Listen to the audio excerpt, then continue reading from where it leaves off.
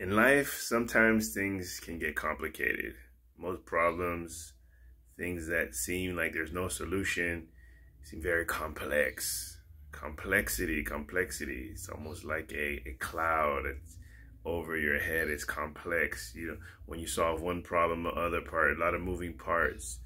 And so I think one of the things that we need to remember, the solution to these complex situations is not always like attacking the problem and making and and uh, solving it, you know, and getting more muscle behind it and all that stuff. Sometimes that solution to complexity is simplicity. Just make it simple. Look at the whole situation, break it down, and do one thing. Just make it super simple. It makes your life easier, and you can solve the problem better. And it's not just mentally, it's emotionally as well. When things are simple, then you can experience grace and ease. It's just a different, it's a different, different vibe. So what I encourage you guys today real quick, I'm not gonna make a long video, is to just look at life and try to make it as simple. And I know we've heard that before, keep it simple. Um, but how many times do we remember that? How many times are we applying that? It's a simple technique, simple problem, simple things. I remember one time they asked Michael Jordan, you know, how, how does he average 32 points a game? Like how hard, you know, what's his technique. He said, I just keep it simple. I just know I have scored eight points a quarter.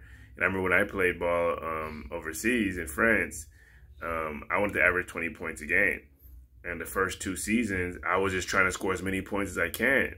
And it was complex because sometimes they take me out of the game, sometimes this, sometimes make me a ball hog.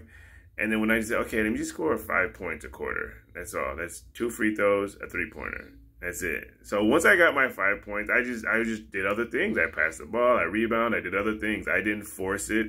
I just try to keep it very, very simple.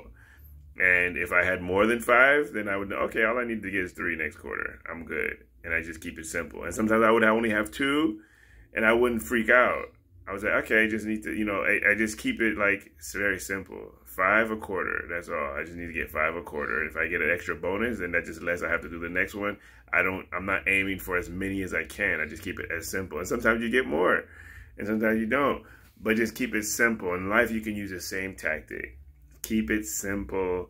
Just say, what can I do next? What's the next step I can do? Let me just do this step. Let me just break it down. And just have every little step as a victory that you're gaining. So that's the message I have for you guys today. Just keep it simple. The solution for complexity is simplicity. And greatness comes out of just doing something simple very well. So keep it simple. Complicated never going to bring greatness or happiness. All right, I'll talk to you guys later. I'm Dan Nzinga. If you need me, reach out to me.